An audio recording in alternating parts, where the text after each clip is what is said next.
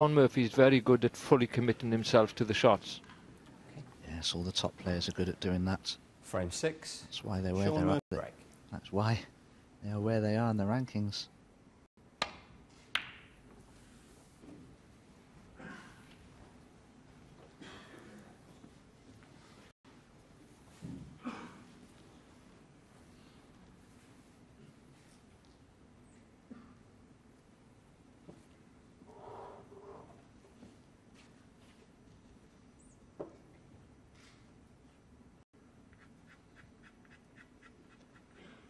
He's sizing this red up on the left hand side of the table.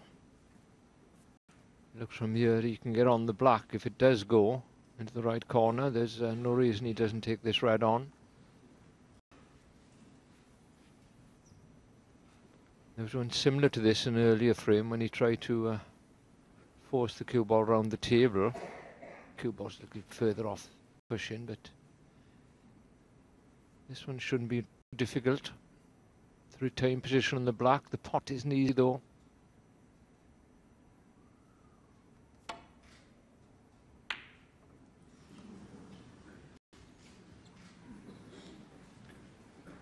Well, he knew he wasn't leaving anything else on apart from the red he took on there. Maybe one in the centre.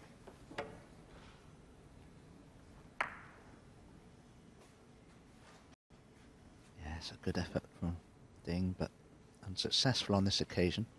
It's funny though, Terry. I mean, we're all fantasists, aren't we, when we play this game? I mean, the reality is, you probably shot 10 or 15 times, you might only get, well, 35% of them at best.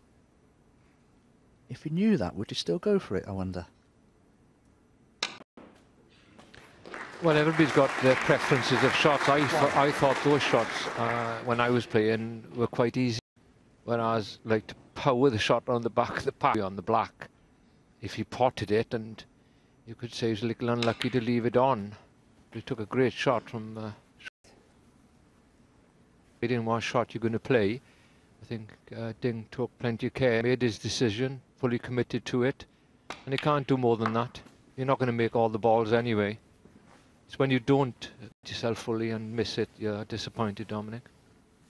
You're absolutely right, Terry. The other interesting point to make, though, and uh, that you're in such a tight spot when you come back to the table that there's every likelihood you'll 50. make a mistake.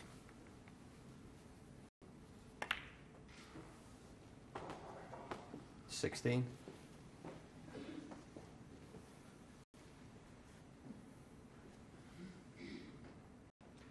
Reason to come uh, over this side of the reds, of this black.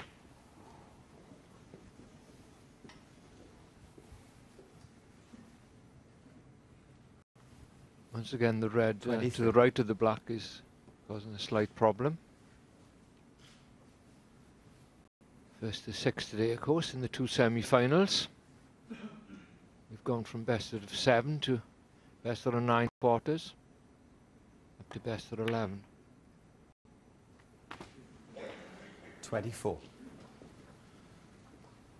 Best of 17 tomorrow for the final. A very special day in uh, here in the Wood Centre.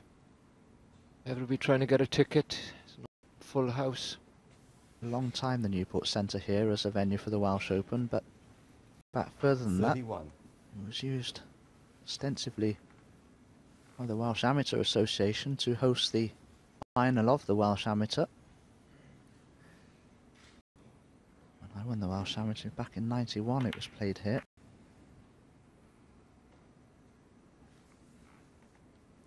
Remember one of our other great Welsh amateur players in the Paul Dawkins, winning it twice in succession here before I did.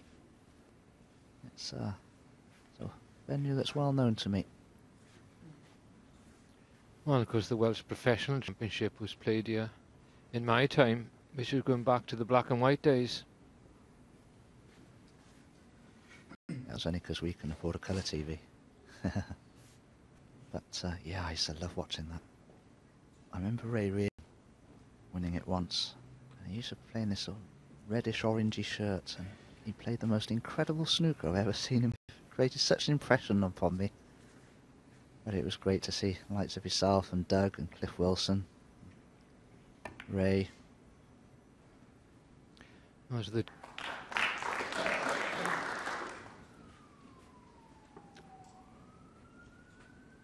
There's been a, a trend set here because Shaun Murphy, he done 126. Just super break. The second frame got in again first in the third game and missed. I lost position. And it's happened again. He was just starting to get some momentum in this first frame, the fifth frame after interval. And a beautiful 90 from a long red. Wasn't again, and again, little cannon went round in the pack. Here we see it. Really wanted to catch the pink then about half ball. Split a few reds and guaranteed to be on the red by the black, but wasn't to be. Gonna have to wait now to get another chance.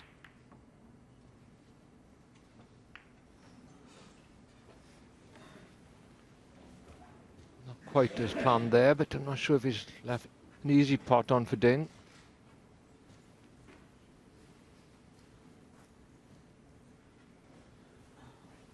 Yes, whether or not Ding takes this red on will largely depend, I think, as to whether he feels he can avoid the red that's right of the black.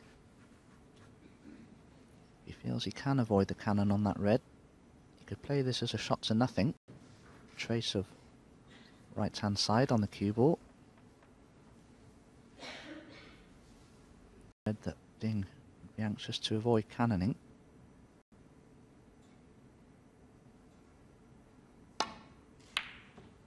Wow, played that with tremendous amount of check side on the ball.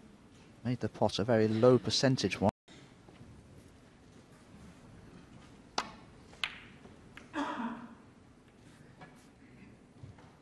Well, he caught the pot thin, so if you'd have uh, potted it, it would have had a different angle completely. It would have hit the red and black, I think.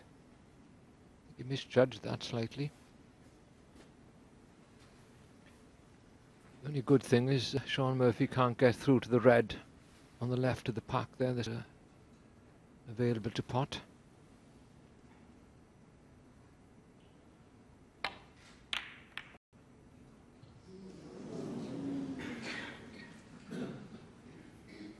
Maybe did see a plant there. I didn't notice it, but he could have mishit it, of course. But the pace he hit the cue ball, I've just felt he must have seen the plant. Really one off another. I don't think would have seen that. He just hit it badly.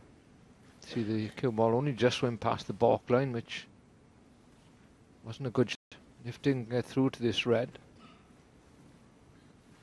there's a chance. Yeah, I think he can, Terry. Now, I wonder if he'll play this with a lot of topspin and try and just stop the white dead for the. Be a bit of a trick shot. But he also has a.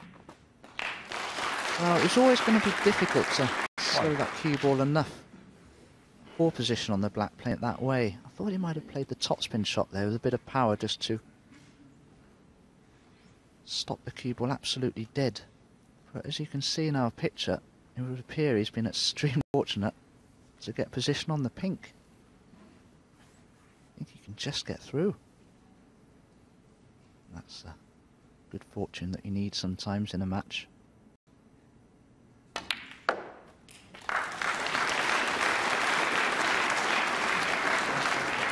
Certainly could uh, pay dividends, that bit of luck. Seven.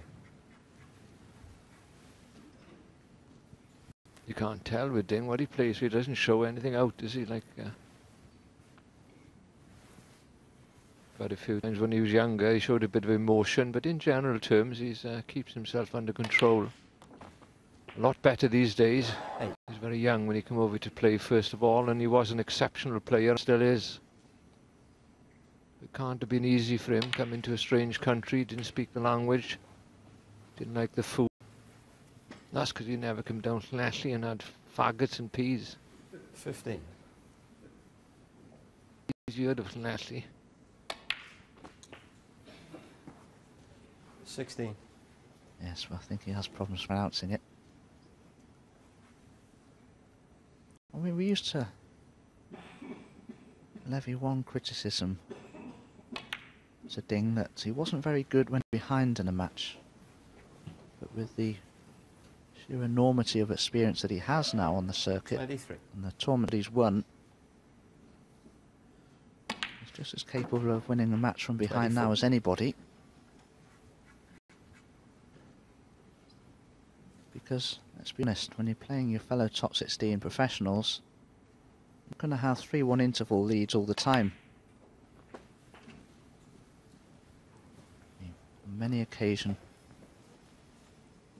facing def deficits in a match, 31. you mustn't hang your head. You just must believe that if you get the chances, you can reel off two or three frames.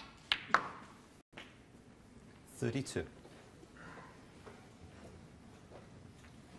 He's been professional for nine years. It was very quickly, I must say. I remember him coming on the circuit early on in the qualifiers and always looked like a very special talent.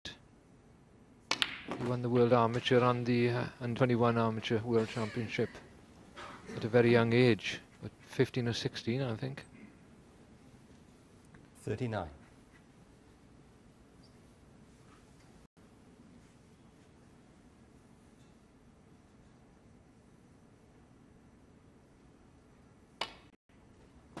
He's been the face of snooker in, in uh, China for a long time now, and uh, he's a superstar over think he's done a lot to help the guy, the development of the game in China. Just sometimes wonder what's happened to all the big Thailand players that we used to have years ago. There were a number come through. 46. Don't seem to have too many these days. It's seems to be all about China. We do have a number of great players on the tour at the moment. Good shot on the Ding supporters there. There are many here in attendance. All supporting their flag bearer. 47. I watched him play in the, in the UK Championship. I was confident in his game there, and he had the front row, um, people from China supporting Ding, obviously. And he played this one shot. There's quite a big crowd there, and he's so they all clapped, and nobody else in the crowd clapped. It was quite an easy shot. Was a lovely picture, you know. And the, and if you notice them when they're supporting him, they they also smile 54. when they clap, you know. And it it is a beautiful picture, and one one I won't forget.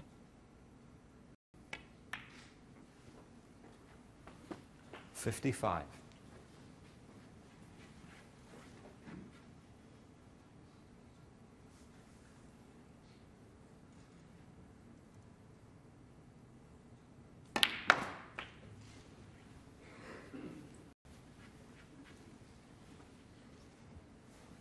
Sixty-two. And a very good positional shot. Sixty-three.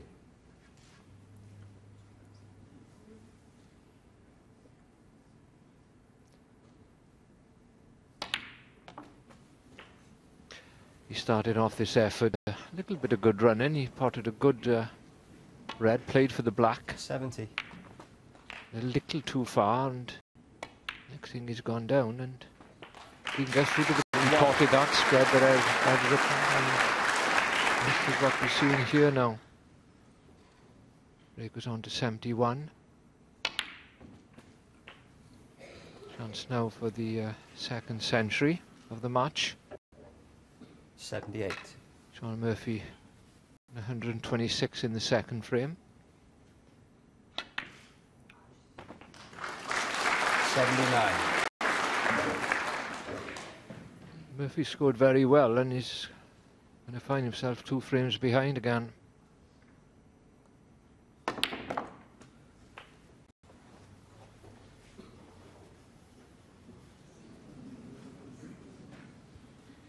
Eighty-six. Well, it won't matter about the 86. missed Shaun Murphy full. escape to the yellow. Excellent 86 from Ding. He regains his two frames advance in this match. He leads Shaun Murphy by four frames to two.